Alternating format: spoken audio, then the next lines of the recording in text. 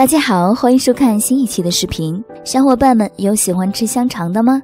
在我国，长沙的大香肠算是很有名的了。一般去买长沙香肠都要排很长的队。不过为了美食，人们还是会耐心的等待。今天小编要给大家介绍一个国外的香肠，绝对让你眼馋。这根香肠最大的特点就是超级大，真的是小编见过的最大的香肠了。吃一年估计都吃不完，这么大的香肠肯定也是不轻的。它比正常的成年人还要重。这样的一根大香肠，一般人是抱不动的，需要两个成年男子才可以勉强做到。不知道生产厂家是不是嫌包装太麻烦了？生产这么大的香肠，大家是不是在想，这么大的香肠会有人买吗？冰箱应该装不下吧？其实它不会让你必须一整根都买回去。可以切开分成小部分售卖，不过这样的大香肠切一片买回去也要吃好久吧。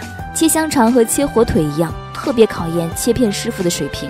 厉害的大师傅切下来的香肠薄得像纸。一般这样的切片香肠都会夹在汉堡里吃，或者是做成类似鸡肉卷一样的食物，配上蔬菜、鸡蛋、沙拉酱做成的特别好吃。或者可以切成块儿，这样还能当成牛排煎着吃。如果是开一家汉堡店的话。买这样的香肠倒是很省事了，在价格上也会优惠很多。一根香肠可以用很久。国内很多火腿肠、香肠之类的都会添加很多淀粉和一些添加剂，也出过一些食品安全的问题。而国外的香肠可以说很良心了，满满的都是肉。爱吃烤肠的小伙伴们可有口福了，抱着这么大一根香肠睡觉都会很幸福吧？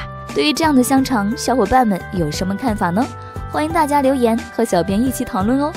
别忘了点击视频右下角的关注，我们下期再见。